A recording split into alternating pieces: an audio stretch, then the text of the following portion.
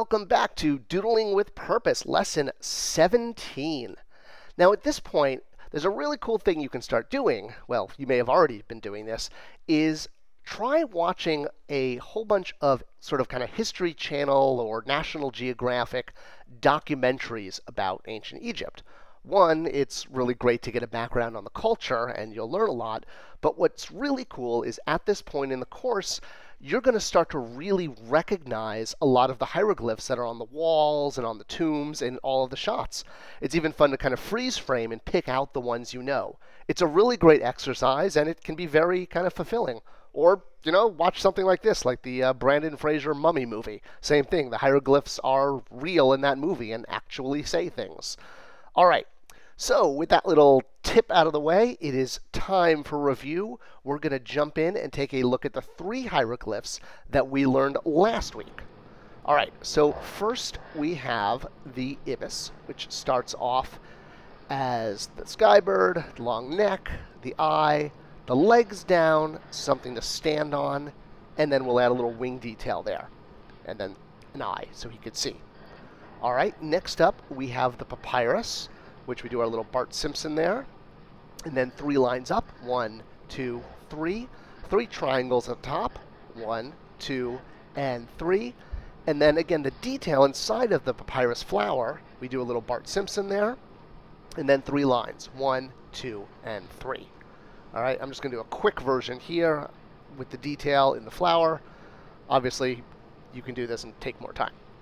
And then finally, we are going to do the club, which is down, and a triangle for the base. All right, so now our new ones. Now, we all know the N from way back in an earlier lesson, which is wavy water, or sometimes it's thought of as energy lines. And when I refer to Bart Simpsoning, Simpsoning, as in like the verb to Bart Simpson, what I'm talking about is the hair on top of his head. This is a very common motif in a lot of glyphs, including what we just saw with the papyrus and with water, is kind of doing those up and down. So the glyph that we are about to do is a well, the glyph that represents an Egyptian well. Not not really this well when you think of a well, more like this well, like a big giant pit that just goes down to the bowels of the earth, because that's what the wells were like in ancient Egypt. And to represent a well in a hieroglyph, it was done kind of like a basket of water. So let me show you what that looks like. It's going to make the HM sound, like a hmm sound, like as if you were humming. All right, so here is how to draw the well. First we do a loop, and then we do a Bart Simpson at the top, and then another Bart Simpson, and then a third Bart Simpson. Basically three wavy lines of water. So we do our U, we do a Bart Simpson at the top, and then two more across the middle, which represents water inside of the well.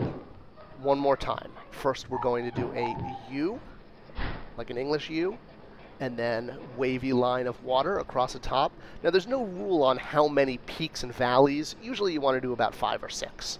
Um, I'm going to be a little sloppy here, but that's how you do the well. Next up, we are going to do another club call this the uh, the Mummy Club. Okay, well, some people say it's a club. It looks a little bit less like a club and maybe a bit more like an ancient Egyptian bat.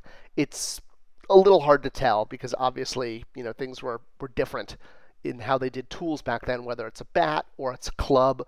What you're drawing is this. This is the actual tool that we're drawing. This was used to flatten papyrus uh, and help beat it out, if you will. It was not used to hurt people. It was a it was a gardening tool, and it also makes the hmm sound. But it's more the in the back of the hum sound. All right, and this is how to draw it. It's to a sort of a half squiggle up, squiggle down, and back. Up and down and back. And that's your bat or your club. All right, Last for today, we are going to do a papyrus herb. This is the very top of the papyrus plant. Papyrus, obviously very big in ancient Egypt. It was all over the place in the Nile, and it was basically a way of life. And this one is going to be similar to the one we did last week. It's the HN sound now. The hun sound is what we're doing. And if you got last week's papyrus, this one's not going to be too much different. Except this time, instead of a base, we're going to be drawing like kind of the stick of the plant and then those familiar triangles up, three of them, and it's the same inside detail with the Bart Simpson and the three lines, just like last week. So this one is basically just instead of drawing the base of the plant, you're drawing the stem. Three lines, kind of like a trident, with the first one being a squiggle to the left, and then we're going to do the detail. This one is a little better than my one on the left. It's got more of a curve. All right, let's see if I can do it again. They always come out a little different. All right, there we go. Yes, it's supposed to be more kind of like that. All right, and then three triangles, and we'll do our Bart Simpson, our three lines, Bart Simpson wavy water, Bart Simpson wavy water. And there you go, your papyrus herb. All right, I absolutely encourage you to check out online resources to get some free printable hieroglyph flashcards or honestly make your own with index cards. It's actually good because then you're drawing the glyph on one side and the sound it makes on the other. And honestly, making them yourself is not only more rewarding, but it actually helps really imprint how to do this a lot more than just picking up someone else's flashcard. So, yeah, I mean, just grab some index cards and kind of draw out all of the glyphs you've done so far. Next week, we will continue our deep dive into the biliteral signs. That's the signs with two consonants. Well, I guess a Egyptian dive would probably look more like this because you'd be diving in the sand, right? Not the water the Nile's not that deep. And I guess if you're taking a dive in Egypt, you're going to wind up in sand. And I think I better just stop making sand jokes while I'm behind. So, see you guys next week. Hope you enjoyed. Leave your comments below, and we'll continue doodling with purpose.